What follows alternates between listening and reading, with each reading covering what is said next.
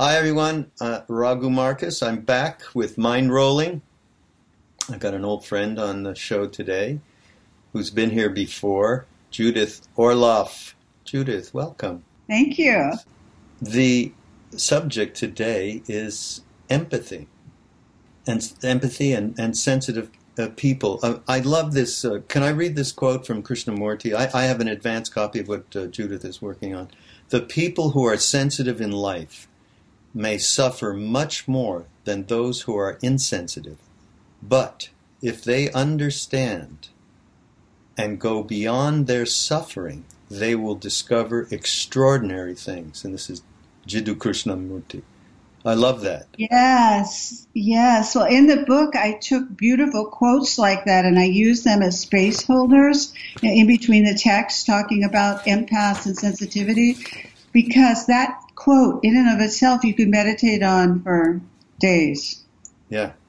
Well, t- talk about, uh, well, tell us a little bit about what is an empath or a very sensitive person uh, and what was the re I mean you're you have a very large constituency who who reads your books and so on and I don't know what percentage of the public are empaths but I'm sure and in my going through some of the book um, I found things that I thought would that really could have applied to me in my own life although I don't not sure I'd be called an empath maybe a sense of although I want to go through this test with you in a minute okay yeah, because you got it in there. Help you through the test. yeah, but um, tell us about uh, what is an empath and, and your reasons for writing this book.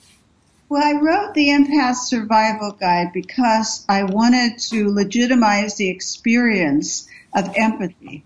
And there's an, a spectrum of being an empath. There's the ordinarily sensitive person who wants to stay open hearted and avoid compassion burnout.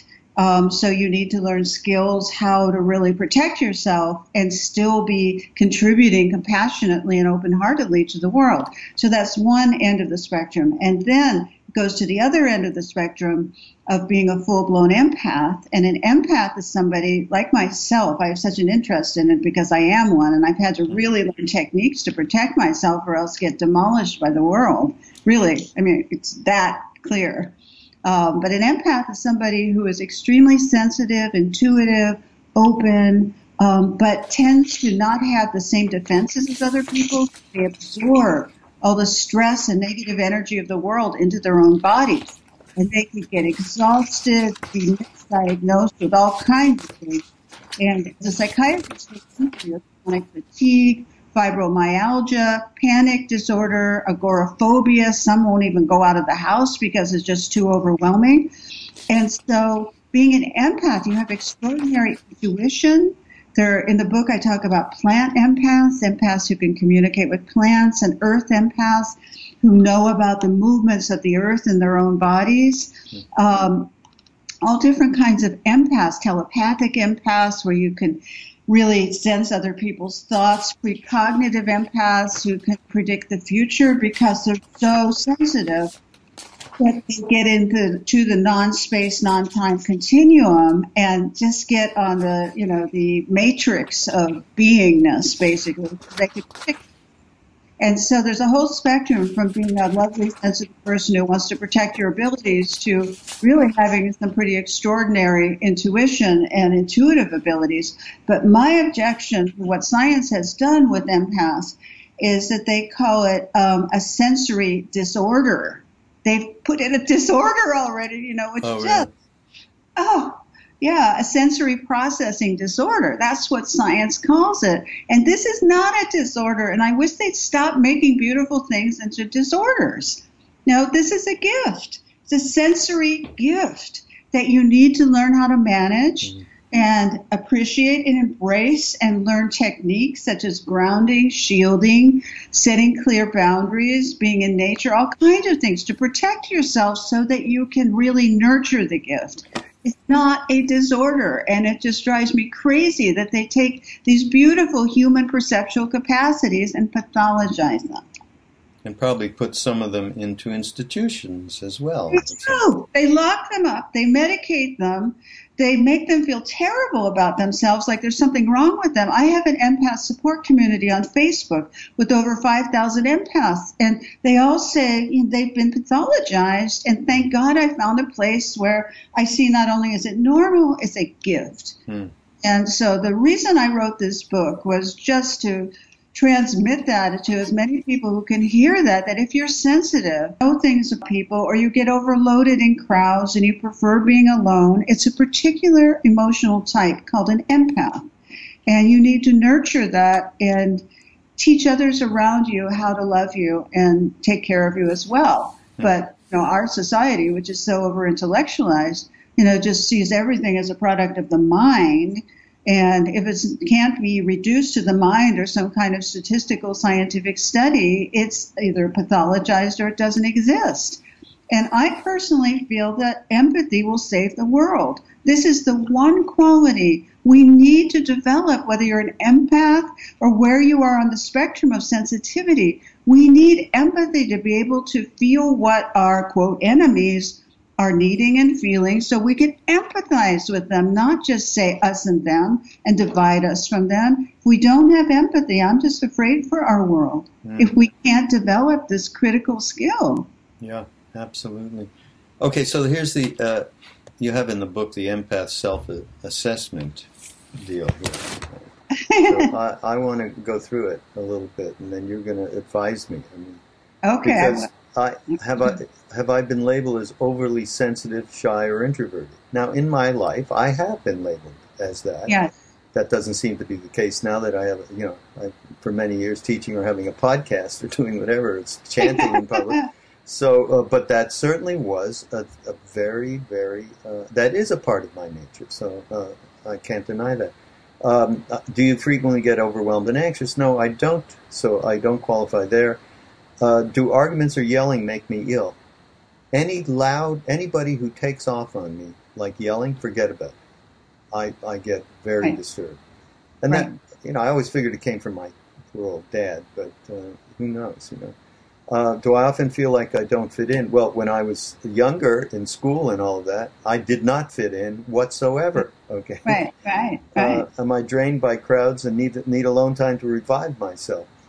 Uh, I would say, uh, yeah, big crowds. Uh, I, I, prefer to be alone uh, uh, much of the time, although I don't mind crowds. Uh, I'm overstimulated by noise, odors, and nonstop talkers. I am so done with nonstop talkers, Judith. Me too. Oh, Jesus. As an empath, they just drive me crazy. The words are like bullets that come at you. yeah, I mean, I really. look at them dread, but in the book, I talk about what do you do when you're around one. You have to learn what to do. You cannot let them go on and on and on. It's damaging. It's, do I have a chemical? Oh, this is getting bad now. I mean, not bad. This is good. See, I have this in my head too. You know uh, chemical insensitivities or can't, can't tolerate scratchy clothes. I cannot wear wool. Absolutely. Yeah. There's no reason for it, right. but I can't do it. Okay. Right. Do I prefer taking my own car places so I can leave early if I? I prefer being somewhere on time. I'll tell you that. That's for sure. Oh. Uh, I don't overeat to cope with stress. Uh, uh, am I becoming uh, suffocated by intimate relate? Now I could say that I have in the past become suffocated by intimate relationships. I fortunately married a goddess named Saraswati, so that will tell yes. you everything. Yes. Uh, I don't startle easily. Uh, of course, if my dog, who's uh, sitting right behind me, starts to bark right now, that I will get startled. Uh, Wait, jump? Huh? Do you jump? No, no jumping. Like, no, you know, I, I, do this. What? right, right. but that's, that's a something, right? Yeah. Yeah. Uh, low pain threshold. Um, Moderately so. Do I react strongly to caffeine or medications? No, don't. But I'm not drinking any now. Uh, socially isolate? No. Do I absorb other people's stress, emotions, or symptoms? Now, in a relationship, and I want to talk about this in a bit, that yeah. definitely goes on. I, I, I, am definitely absorbing my partner's stress and emotions or symptoms. Okay, that's going on. Am I overwhelmed by multitasking? No, I consider myself to be a fantastic multitasker. Not so, you know, that there's a downside to that as well. Do I replenish myself in na- absolutely every day? I go out there. Nature. Yeah, nature is totally important. Do I need a long time to recuperate after being with a difficult uh, person or energy vampires? Energy vampires, we need to talk about that as yes. well. Uh, I don't think I need a long time, but certainly something. Do I feel better in small cities? Well, I'm in the country now, and I feel a hell of a lot better than I was in LA, living right. nearby where you live now. Right. Uh, and uh, do I prefer one-to-one interactions or small groups rather than large groups? Yeah, I like small groups. So, okay, what's my verdict, Judith? Well, it sounds like you answered yes to about 13 or 14 of the questions. And so it shows you you're moderately an empath. You're not full full blown. A full blown empath would answer yes to all those. I mean, all I right. answer yes to all, all those like uh-huh. triple times. Really? now I walk by. I'm such an empath. I walk by a street um, in, on Wilshire the other day, and the traffic signal had a voice, and it said, "Don't walk, don't walk, don't walk." And I'm down on my skin. I'm walking. I think there's somebody right behind me, you know, because I'm so sensitive. Whereas another person would walk by and not maybe not even hear it. You know, that's the difference between a really sensitive empath. You know, that makes me jump. It startles me to hear a loud voice over my shoulder.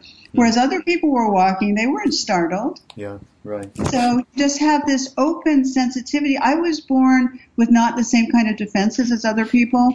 You know, I just haven't had the same guardedness, nor have I wanted to develop it. Because part of my spiritual practice is learning how to be vulnerable and open, um, but learning how to protect myself so that I'm not demolished by the outside Mara world, the material world. Right, and certainly in this book, by the way, uh, which will be out next year, uh, there is a lot of practical applications for people yeah. to use to Yeah. actually transform themselves in these kinds of situations. And Right. I like this too. Some empaths have profound spiritual and intuitive experiences, which aren't usually associated with highly sensitive people. Some are able to communicate with animals, as you said before, nature, and to me, more important than anything, their inner guides. But being a highly sensitive person and an empath are not mutually ex- exclusive. You can be both at the same time. But, but uh, that reality of, of being able to connect with your inner guide. Of course, you know my history and, and Ram Dass's and Krishna Das and all of it. You know, in our time in India, and meeting that inner guide on a, on a, on the physical plane was an extraordinary thing. Um, Right. And I think though that um, probably all of us that were there, there may be a, I mean, uh, certainly there was maybe a couple of hundred Westerners. When you think back on it, wow, that's not a lot of people that made it over there and, and physically saw this being. Um, but I think they all had to have a very sensitively tuned place to be able to open up in a way that, uh, first of all, you could actually meet someone like that, but then uh, then then begin the transformation process. uh, Right.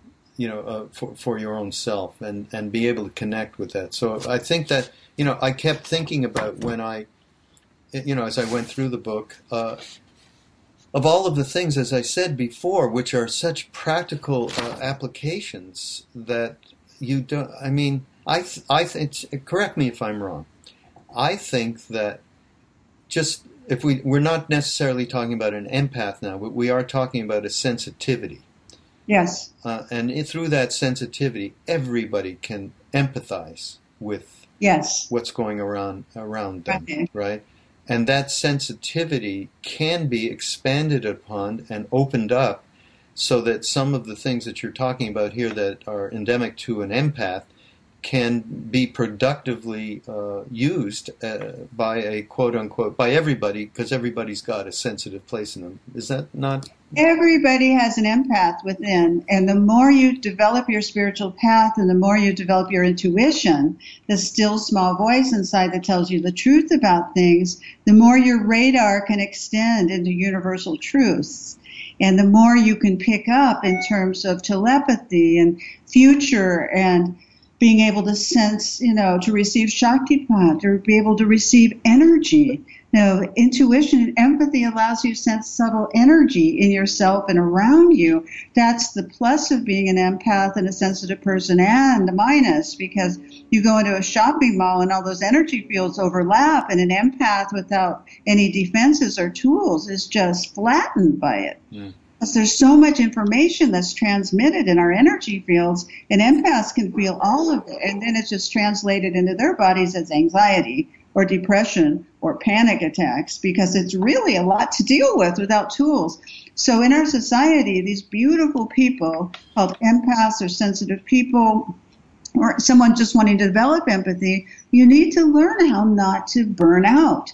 It's very easy to burn out in our culture, and we need you. We need all the sensitivity we can that you can give us and contribute to the world because if you shut off and you don't develop this, it's not going to be useful for everyone, the collective. It's not. And people intellectually wall off and that's not going to be helpful to, for this planet. Yeah. Um, let's talk about uh, a few of the things that, that you uh, pointed out and in the book that I that I that are things that we talk about and we have talked about before, not just with you but other guests that I've had, uh, mm-hmm. and it's certainly uh, in this particular case it's the mirror neuron system, and, right. and, and of course that's that's used a lot around the whole mindfulness topic and right. and the ways in which we can uh, retrain our habitual tendencies. Can you t- just talk about the, that uh, mirror neuron and and how it relates to not just em- empaths but all of us in terms of being able to use it uh, productively?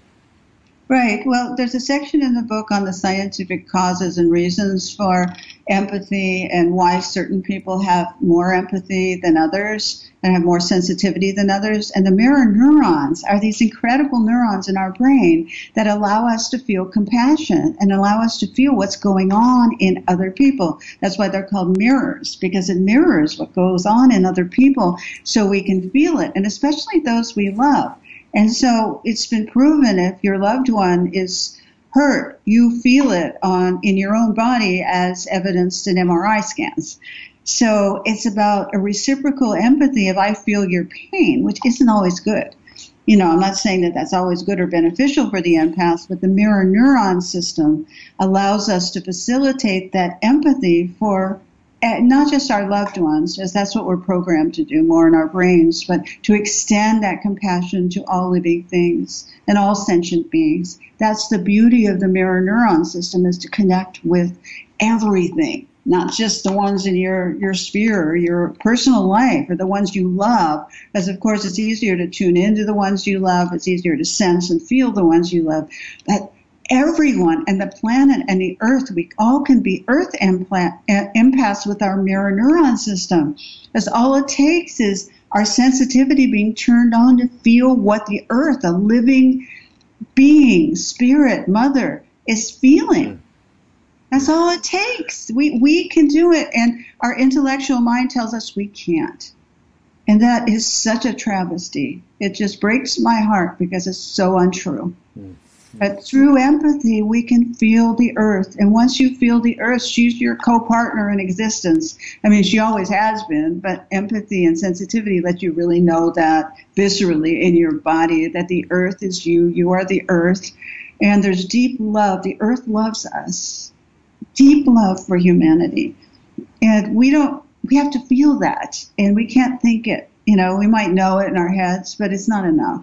Hmm. We have to feel that connection to our grounding, our planet, that beautiful, beautiful planet that um, Edgar Mitchellson had a spiritual experience looking down. He was an astronaut looking down at the Earth, and he opened up and had his first spiritual experience looking at the blue planet. You know, and um, empathy helps us get there. And as you can see, I feel so strongly about it because I see it as an answer. Yes. and certainly we need some answers these days. yeah. Um, but that, that ties right into the, the, this other thing around electromagnetic fields that the brain and heart have, and and certainly that field is the Earth has that field, and right. I guess you're talking here about connecting the two. Tell us about that. I am that we give off um, electromagnetic fields around our heart, as is represented by an EKG, um, and around our brain, as is documented by an EEG. When you are hooked up to an EEG, you see your electricity, your electromagnetic fields in your body. So that is connected to the electromagnetism around the earth and around other people. Mm-hmm. And so one of the theories of being an empath and sensitive person is that you're able to sense the electromagnetic fields of other people and information is transmitted via these fields. Mm-hmm. And so it's just another way of communicating deeply with others, the earth, plants, um, you know, on all different levels, not just on a linear level, either on a spiritual level. That when you really open up, and this is why I wrote the book, to all these levels of communication in yourself, when you can develop them, protect them, and not be thrown off when other people raise their eyebrows and say, oh, you must be kidding, you know, or oh, poor thing, you're an empath, you're so sensitive, you know, you need to be stronger. You know, that is not true. None of that. It's false, false, false. And when you reprogram yourself to know that, and you can communicate really deeply, um, you have no idea what's possible. Mm. I'm only good because you're communicating with love. You're opening up, you're making a choice. I'm communicating with the love in me and the love in you and in the now, um, and then the next now, the next moment, and then the next now. You know, all attuned, but at the same time, smart and protected. So you're not just ravaged by energy vampires and all the coarse energies in this world because there are so many of them. You walk out your door, and I, I live in Los Angeles, although I live in the Venice Canals, which is a very enchanted, protected community, though it's getting very crowded as well. You know, you have to learn how to deal with the energies of people unless you want to go in the country, but still you have to deal with the energies of people when you go into town, you know? So these skills that I talk about in the book are really useful for me. They're life saving for my own life. Otherwise, I would be flat out on a bed, exhausted all the time from everything. I think they're they're useful across the board. Again, yeah. I keep uh, I keep bringing that up because I found so much in here. I mean, not knowing I'm a, I mean I, I know I'm a sensitive person, but most people have that most people, uh, uh, many, I mean, maybe Donald Trump is pushing his sensitivity away these days, maybe, but uh, but uh, most people do have that. And uh, uh, this other thing that's really interesting is the emotional contagion, and right. Um, right. and we experience that. we have these retreats in Maui that yeah. we get together with Ram Dass and other people, and that whole group gets just this this contagion happens right. and everybody opens up into that one place so it's a perfect example of what you're talking about here uh, and uh, and I do tell people myself when they're looking for something to help transform their lives find a group you know through a yoga studio or through a chanting thing or whatever or through meditation groups whatever it is right. and in that group you can share in that space and then that will absolutely help to transform uh, you know, lots of stuff from oh, inside out, not just absolutely. Yeah. So I, in the book, I talk about how to form your own empath support group if you want to. Hmm. And I'm really supporting people in doing that, or you know, even a group of five to ten people, or three or four people, to talk about your experiences, to practice the tools in the book, to learn how to develop the strengths that you need as an empath without shutting off your heart. You know, it's very important to have the community as you're discussing. Yeah, uh, and and the last one of these things that I found interesting because I never heard of this word, and you've got to explain it. Uh, and maybe I don't even know how to say it. Synesthesia. Synesthesia. Synesthesia. Synesthesia. Yeah. Synesthesia. I never heard that. And, and oh, really? Touch synesthesia. Oh my God! You got to tell us what that is. Yeah, that's another scientific explanation of, of what happens to our neurological system with empathy. The synesthesia, there are many different kinds, and there are many creative, famous people who are synesthetics, you know, where they um, play music and see color, where the different senses pair together. Yeah, there are many, you know, really creative people who've been synesthetic. I, I I'll have to double check on that. So, Um, but mirror touch synesthesia is where you can feel the sensation of other people in your own body. So you're mirroring what they're feeling. If someone touches them, you can feel the touch. I mean, that's an extreme example. Or if somebody is upset, you actually feel their upsetness in your own body. Right. You know, or if somebody is really joyous, you get a wave of joy in your own body. So you're vibing basically with their bodies and their emotions in a synesthetic way. Hmm. That's like a, a billion percent empathetic. Yeah, no, but it, it, it is and it isn't. I mean, I think many of us are synesthetics and don't know it. I think it's just not popular in our culture. I've done some interviews for, you know, columnists on synesthesia. It's a very rare, you know, and more talked about lately thing, but I think it's very relevant if you want to understand sensitivity.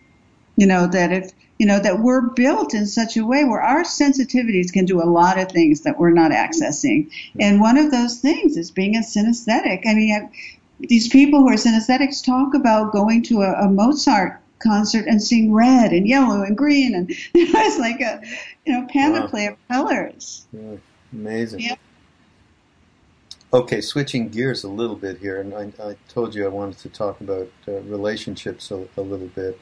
Uh, and you do have this chapter about how to stop absorbing other people's distress. Right. Which isn't particularly about relationships, but I'm pointing this about relationships because um, that seems to be a primary issue in couples, especially couples, um, but also people that you work with and, and so on, is absorbing their distress. Right. Um, so let's talk about that, please. Yeah, I mean that's there is a chapter on relationships um, and empaths that where I talk about how it's so hard for many sensitive to be in a relationship. Um, and they often come to me in my psychiatric practice wanting to find their soulmate, but not being able to find their soulmate. And when I take a deeper history of it, you know, it's that they are afraid of finding their soulmate because they're afraid of getting suffocated, and they don't know how to set boundaries in relationship because when then when they're in relationship, empaths and sensitive people can lose themselves in the other person and pick up all their stuff. And so subliminally, there's a motivation to stay away, or they're attracted to unavailable people because the same challenges aren't there if the person holds themselves distant. For an empath, in a way that's safer, but it doesn't give us the intimacy we need. So that's the conundrum. And so my primary skill, I've been in a relationship for a few years now, which is a record for me, because I really, no, I'm pretty, you know, like a hermit, and I write, and I'm, I like my, I'm quiet you know, I don't like a lot of emotional processing. You know, I like to process at times, but I'm not constantly talking. Anyways, my needs as an empath are pretty specific, and if I don't get them met, I don't feel well. So I don't have a lot of room to, to move in it, you know, for my own comfort level. Um, but I'm with a partner now who is very understanding. He's not an empath, but he's willing to work with me on this and understand me. But the biggest challenge I have is absorbing his stress you know, he's going through something. I've never learned the skill how not to absorb my partner's stress enough where I could sustain a long term relationship. Hmm. And so that's my meditation practice now, you know, is not absorbing his stress and learning to separate myself from him empathically so that he can feel whatever he feels and it's I, it doesn't go into my own body. And I do that through breath work. I do that through meditation. I do that through, I'm in Al Anon, where I talk about, you know, my own feelings in Al Anon and learning how to be in relationships and let go with love so I'm not constantly trying to fix somebody. Mm, that's so, a big one. Empaths are fixers. They want to get in. They see a problem. You know, I'm a doctor. I'm a physician. I'm so good at fixing people that you can't do that in relationships. Right. you know, it, it, doesn't work. And then I end up taking on all the stuff. And then I think, oh, can I be in a relationship? I really need to be alone. And that's part of what I write about in the book, The Conundrum, how I've always wanted to be alone and I've always wanted to be in a relationship. And that's the conundrum of an empath in love. Uh, and that's what I'm working through in myself and what I present in the book for strategies for people who are in that same conundrum. And I think it's pretty common. I really do. Mm-hmm. In the book, you say if you haven't identified this dynamic of, of absorbing your partner's stress, you may subconsciously avoid romantic relationships or become attracted to unavailable people. This is because you're afraid of getting overwhelmed. And Right. many people become attracted to unavailable people and have no idea why. A lot of people, uh, Yep. and and or avoid uh, getting into it at, uh, at all. Also, a healthy connection is when partners are mutually committed to the relationship and want to open their hearts to each other.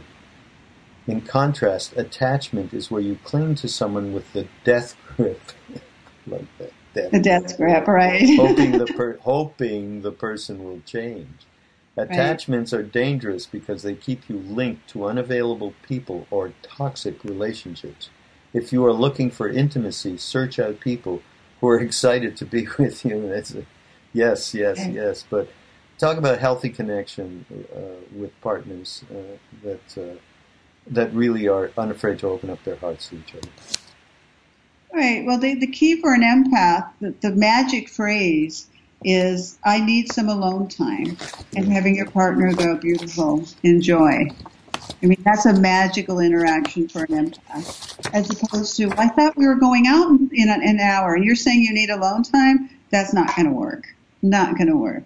And um, so it's a very magical thing for in partnership for the other person to recognize an empath needs a lot of alone time. It might be different than you are. You might not need that. You might feel lonely when you're alone, you know, to that degree. I mean, I could go days, you know, I have gone days writing a book and not even talking to anybody. You know, and I'm pretty good with it. I'll go to the beach, you know, and the ocean is, is the ocean was my companion for so many years, my primary companion you know but if you want to be in a relationship which i do because it's a beautiful thing the love the companionship the growth the depth the passion uh, the, the friendship the fun. I mean there's so much i love about being in a relationship. It's really worth it to me to expand my skills as an empath to include intimate love. I really want that in this lifetime. Mm, mm, absolutely. Uh, you also talk, of course, uh, about again. I everything you say, I cannot. In in my mind, it seems to me to just apply to to anyone. Anyone can t- take this advice. Yes, of course, there's a higher level. Uh, there's a more specific level, shall we say, in terms of an, an empath and their needs Right. and, and, and the things that uh, are really difficult for them to navigate. Right But those things, people yeah, need for intimacy, need to open up in a certain way, need for uh, being able to. I mean, you just say things to me like, "I absolutely need to have alone time," and Yes. uh, and so does my wife, and so we, Yes. we give ourselves that space. So uh, and then That's so beautiful. I can't tell you, as an empath, my heart just says thank you. You know, thank you for all of womankind and empath kind that you can do that for each other. It's just so beautiful to me. I mean, the strength of my reaction as an empath, empaths love that. If their mates can just allow that, you know, graciously and excitedly, you know, without feeling resentful. Yeah, yeah, no, it's, it's uh, it is a great thing that we do have. Uh, there's, there's, you do talk about uh, empaths and, and having a family and children and so on. Um, Yeah. actually, Judith, I'm going to put you on hold for one second because Doggy wants to go out. Okay. Okay, see what you've done to our podcast.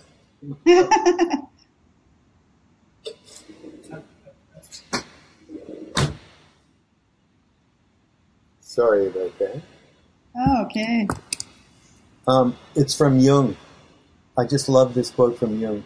As a child, I felt myself to be alone, and I am still, because I know things and must hint at things which others apparently know nothing of, and for the most part do not want to know.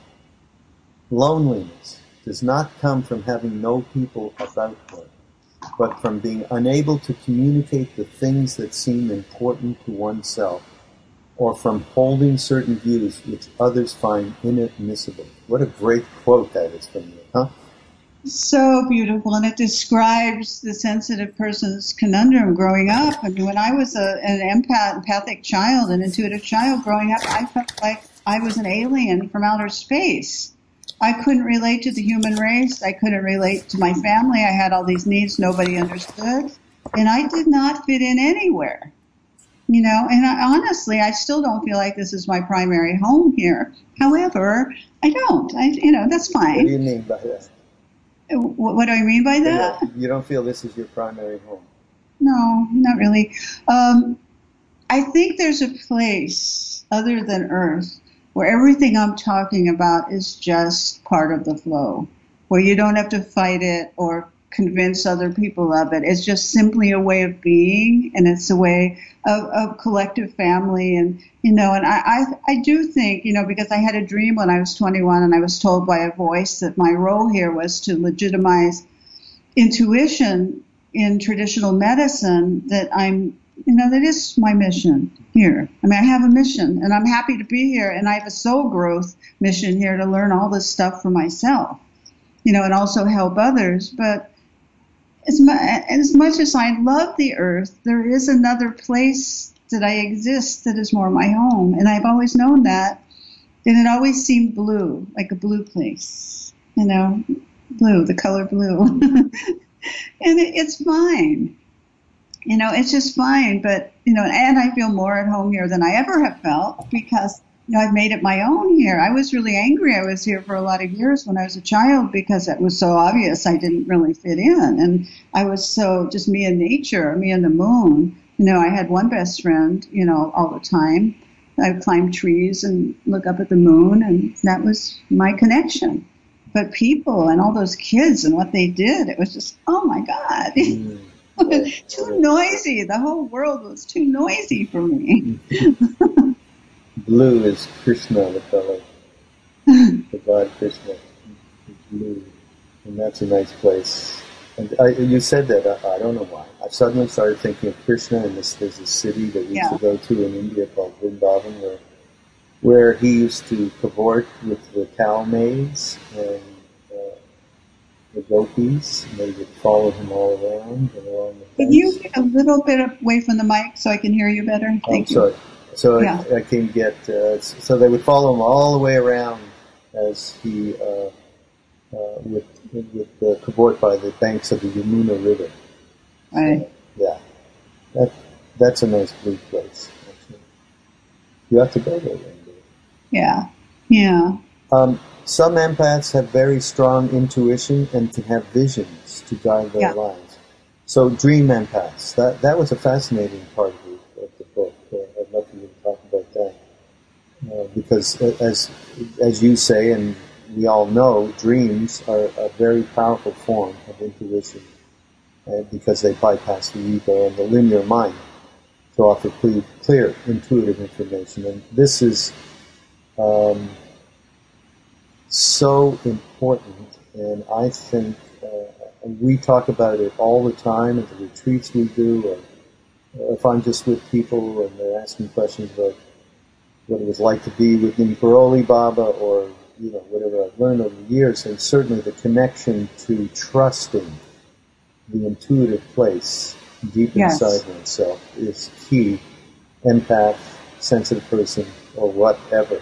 So yeah, talk about uh, using dreams uh, to connect with that place. Yes, I mean, one of the types of empaths that I talk about in the book is a dream empath. And these are people who have a natural affinity for their dreams and they love to remember their dreams. They love to follow their dreams' guidance. And usually as children, they've had, you know, various dreams about spiritual revelation or some kind of intuitive guidance about their lives. Um, dreams are my most favorite form of intuition. I feel more comfortable in dreams than I do in the awake world. And if I don't dream, I just, you know, can't function very well. You know, I really need to sleep and dream. It was interesting when I went through my medical training at USC and UCLA and the VA, I would be on call every third night. And so I would have my sleep interrupted. I would have sleep deprivation and I lost track of my dreams. Oh, it was so painful for me because it was just too many interruptions in my dream state.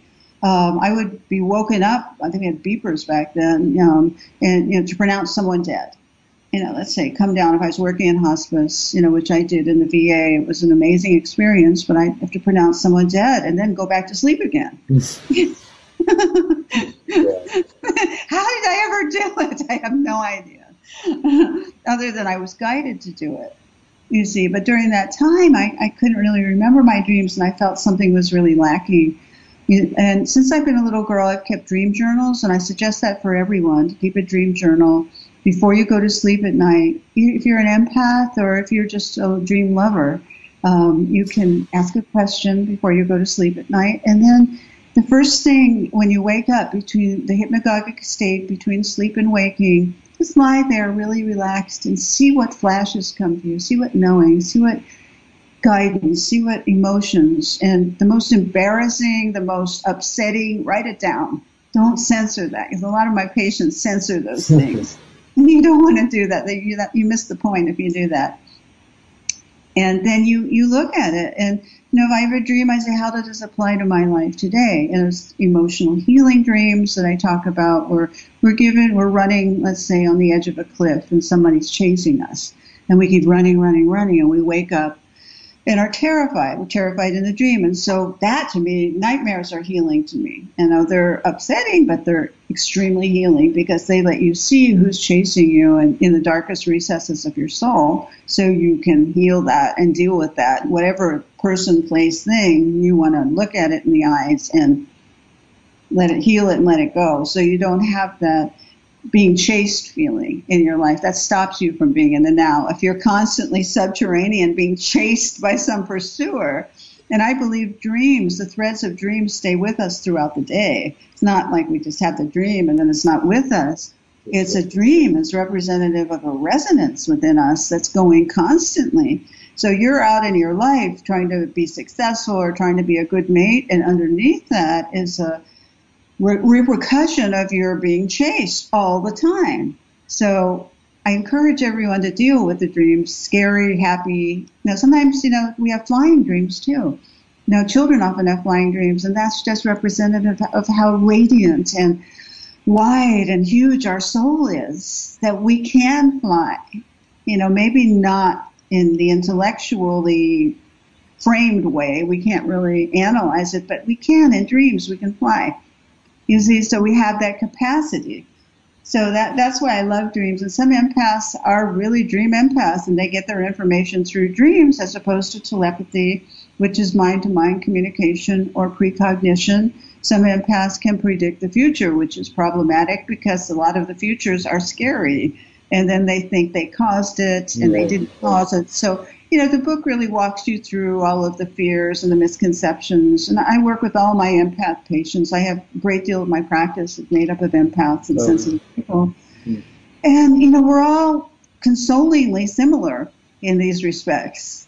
You know, there are really some common bonds among sensitive people, empaths, or intuitive people you know, where we have the same kind of challenges so we can help one another in it. And those who have gone down the path can say, oh, yeah, I went through that phase where I thought I was causing everything I predicted, but, you know, I learned I wasn't. And then I was just in a witness state, a deep seeing state with a capital S. And that's a beautiful light bearing state. And I have to deal with my codependency issues or I can't fix everything in the world, even though I pick up something.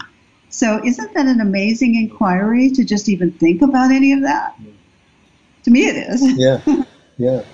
How do you, when you're working with people, how do you uh, help them to train themselves to not only be able to remember their dreams, say, but maybe even have some, you know, the Tibetan dream yoga consciousness in a dream, so that you you have an actual awareness. Do you do you work with that at all? With, uh... I do. I I do. Um, it's all about awareness everywhere we go. And if you begin to look at dreams as states of consciousness that you travel to, and it's a frequency that you need to harmonize with while you're in it, then you could become one with it. And you don't look at it as just I'm going to sleep and my brain is doing some recreation and resting and creative problem solving. I mean, that's true. You do all that in, in dreams and when you sleep. But my, my, in my dream state, I'm also able to travel and I'm also able to communicate with civilizations and people and, and layers of consciousness that I can't contact, you know, in my intellectual everyday life usually, you know, unless you, you can, which some people can too. Um, but that's the goal is to have the veil lifted. But let's say you can just do it in dreams. You can program yourself in your dream to be aware in your dream by making a deep prayer and saying before you go to sleep, I would like to be aware and conscious in this dream. And so it's a practice, it's a dream practice for empaths and others to maintain an awareness in the dream. The part I have trouble with with a lot of the lucid dreaming people is that they feel you can change the ending of a dream and all is well. No, they do. They really, really? they go in. A lot of people do this, yeah, because you can do it. You can go into a nightmare and you can say, no, I don't want that ending, and I'll make a happy ending. But to me, that doesn't fix the issue. It fixes the dream at the moment, but it doesn't fix the basic issue right. how that's manifested. Following the dream is begging you to look at. So I, I don't really believe in changing the endings of dreams. That that will change the dynamic that's going on in you. I don't think that that will happen. Right. right. right. Wonderful.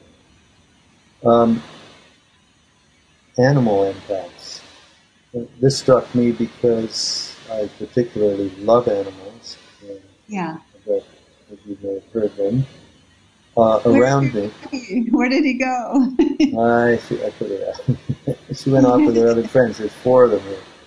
Uh, and I certainly can. I'm I'm alone with them a lot because I work from home. Right. Right. And so uh, I uh, I would. Oh, and there was just this thing of um, they just said that animals absolutely do understand and certainly understand tone and intent with people. And uh, so I, uh, yeah, I feel like that's certainly part of my makeup as well.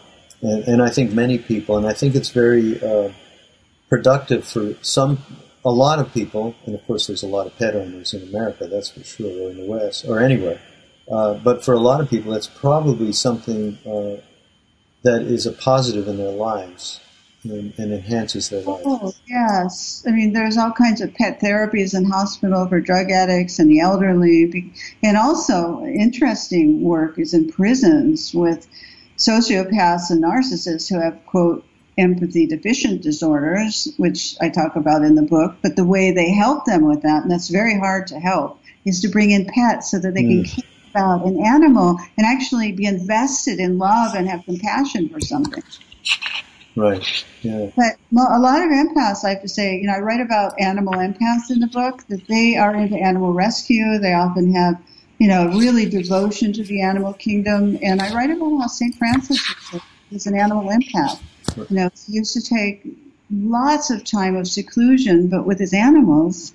Um, and in his meditation retreats, he wasn't with people, and he could communicate with the animals, and indeed tame the wolf, and gave sermons to the fish and to, you know, the deer, and they would all gather around and listen. You know, how natural is that? It's beautiful to communicate with animals like that. And empaths, some empaths really have a deep ability to do this in terms of being animal communicators. And they can help heal the animal when others cannot reach into the soul of the animal to find out what's really bothering them. Um, empaths, animal empaths can get in there and go, I think this is what the mm-hmm. animal needs, whether it's diet or change of, you know, sleep cycle, whatever they need but it's a beautiful ability. And empaths typically love animals and are involved in pet grooming and you know all kinds of animal activities. And a lot of the people in my empath group are deeply devoted to the well-being of animals.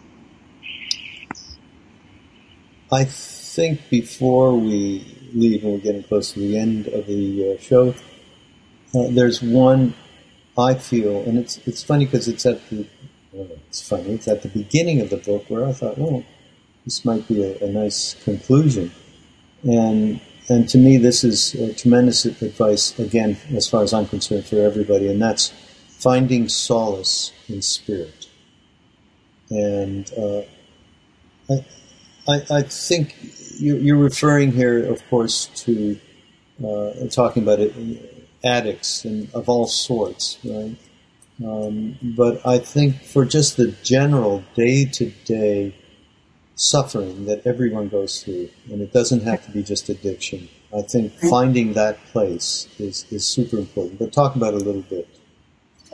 Yeah, so I, I wrote about it in the chapter on empaths and addiction because many empaths go into addiction and alcoholism um, because they're so sensitive and they want to, you know, numb themselves out because the world is just too much to take. And part of recovery from that in 12 programs or otherwise is connecting to spirit.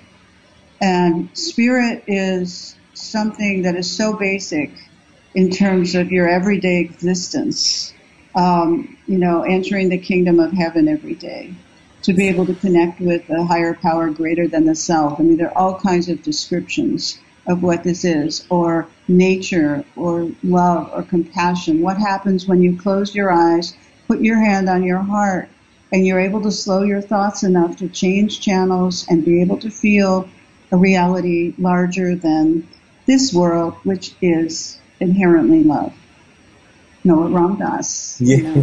his life is he's like he's like my love guru. I mean, visiting him, just being around him, I just melt with all the love he mm. gives off.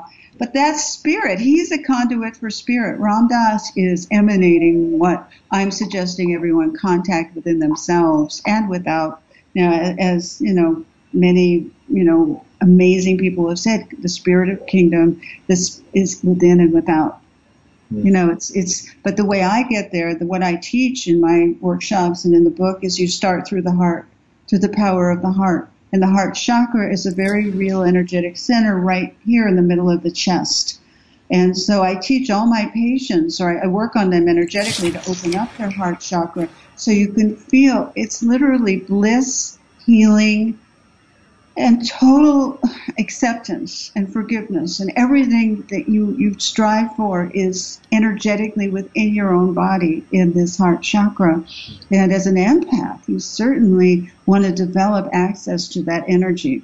And when you work through your body to connect and then use that heart chakra as an extension to tune into a larger um, spirit where that's your connecting point, then on a daily practice, if you connect with this, it soothes you. You find solace in it. You know there's something more than this world. You can replenish yourself. And you could keep learning more about the mystery. I mean, you never know. You never fully get it. I mean, how could you? I mean, you can know. For me, it's in the small moments of interaction you get this, oh, you know, this is a connection of love. And this to me is the ultimate. Yeah. You know, as an empath, as a loving person, as a spiritual seeker, the more you can find it and consciously generate it in yourself to find the solace of spirit, the more protection you're going to have and more solace you'll have. Hmm. Beautiful. Love that. Hey, what about uh, in this book? Uh, you suggest, uh, I think, a little heartbeat meditation. You not? How about doing a little few minute thing to end our session here? You mind? You're to, to, to open your heart meditation? Yep. Sure. All right. If everybody can now close your eyes and take a few deep breaths and begin to focus on the in breath and the out breath. Just focusing on the sensations of the in breath and the out breath. And when thoughts go by in your mind, just picture them as clouds in the sky and return your consciousness and awareness to the breath. Do not try and shut off your mind. Just refocus on your breath and begin to focus also on your heart chakra, which is in the center of your chest, um, above your solar plexus, about three inches. And you might even want to put your heart, uh, your hand over your heart right there, and begin to feel sensations of unconditional love or warmth, soothing. Even the slightest sensations are the most beautiful and mystical and loving. And just feeling the heart chakra like a little sun, the warmth, getting more and more expansion, soothing, loving, connecting, and just spend time dropping into that feeling of the heart. And then notice if it extends up your chest and out your shoulders and down your arms and out your hands so that there's a channel of love going from your heart through your shoulders and arms and hands and then out into the universe, circulating that love and then reconnecting with the love that's all around you and bringing it back through the crown into the heart. And just feeling that circulation of love as it, as it gives you resilience and hope and strength and allowing you to take a deep breath to self soothe and to give yourself a vacation from the material world in the world of the heart energy, the most precious and deep and soothing of all. And this is the home you want to return to again and again in your meditations, in your life, as a practice to be in the now, to be here now. And so, if everyone just takes a little bow of gratitude for that experience and slowly open up your eyes and come back to this room and with us um, and this conscious awareness we've created with this show, um, all of us together taking the sustenance from our interaction with us to our daily lives.